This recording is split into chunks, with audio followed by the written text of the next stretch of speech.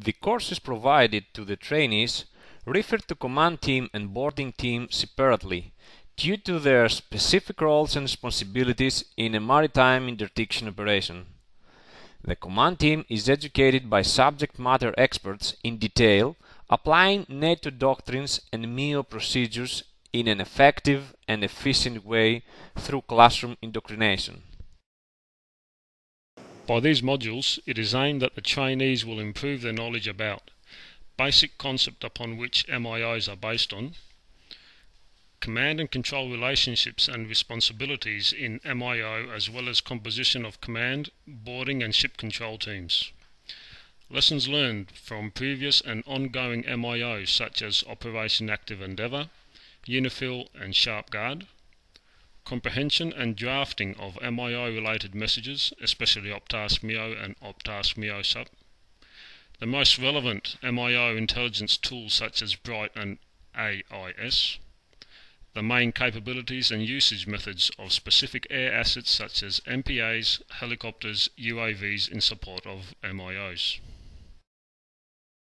When a boarding team comes here, we first teach them the theoretical background and safety precautions of each module and then we proceed to the actual practical training, which is adjustable to their capabilities and their training requirements. By these modules, it is aimed that the trainees will improve their skills and knowledge on actions other than tactical sweep on board a suspect vessel from embarkation through to handover to a ship control team, documentation and certification that have to be inspected on every merchant vessel in accordance with IMO regulations, the difficulties and dangers that they may encounter during cargo inspection on different types of merchant vessels,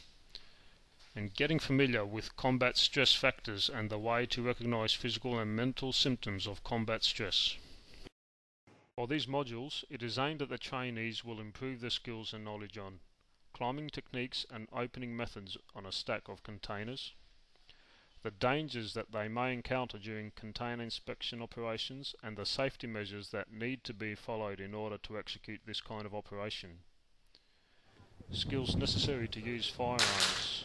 primary weapons and secondary weapons in confined spaces. We do this by using weapons that fire marking cartridges. Skills necessary to safely approach, neutralize and secure crew of a suspect vessel, basic techniques on how to maneuver and approach a suspect vessel by using rigid hull inflatable boats, skills necessary to perform fast rope insertion, and skills necessary to conduct boarding operations under multiple threats such as booby traps, CBRN material existence.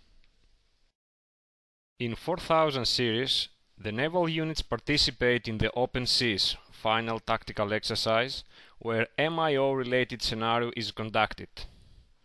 Prior to Open Seas, boarding team personnel practice visit board, search and seizure scenarios on the mock-up ship Aris. During Open Seas, command team and boarding team are evaluated with a score checklist on their ability to plan and execute MIO in accordance with NATO doctrines and procedures as well as the eligibility of the ship organization and the condition of ship's equipment related to MIO.